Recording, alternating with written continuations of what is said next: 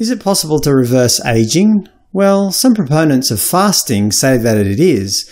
I'm making it my mission to eat in a way that gives me the most chance of staying younger for longer. Most of us in the Western world eat far too much. We have at least three meals a day, plus snacks in between. We drink sugary drinks and juice, we eat far too many processed foods, and don't eat enough whole foods such as fresh fruit and vegetables. Diabetes, obesity, coronary heart disease, hypertension, and some forms of cancer, the so-called diseases of affluence, have become endemic. We are literally killing ourselves through our diet.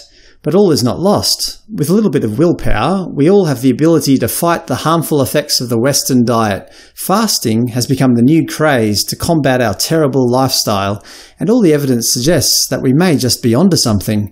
First of all, how does our body deal with our normal diet? Well, ordinarily, people eat lots of carbohydrate, some protein, and some fat. All three are important for health but our bodies are equipped to use any one of them for energy if need be. Carbohydrate is the most efficient source of energy. It's found in simple sugars, such as a cupcake or a piece of fruit, starchy foods like potatoes, grains, rice, and other vegetables.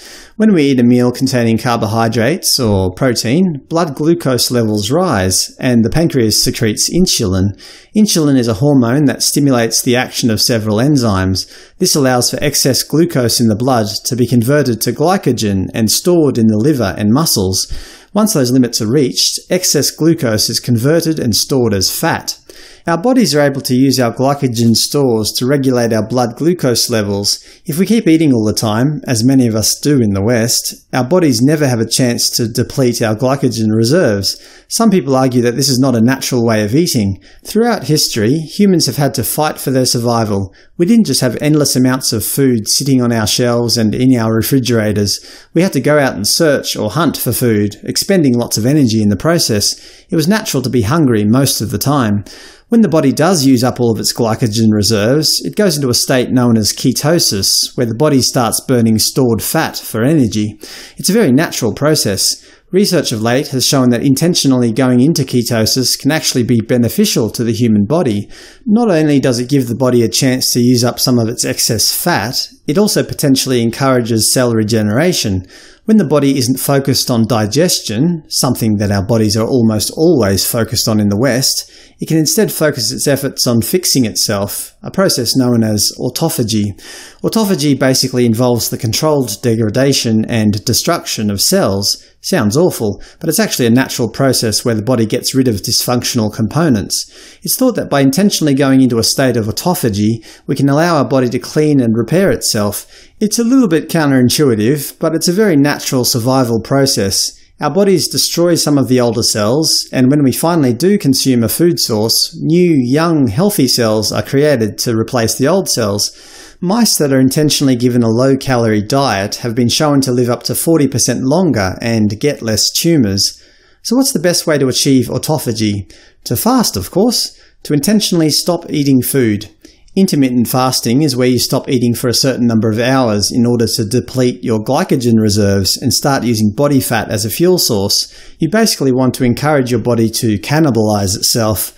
Recent research shows that this is a very natural and healthy process. It has a regenerative effect on almost all parts of the body, and regeneration means anti-aging.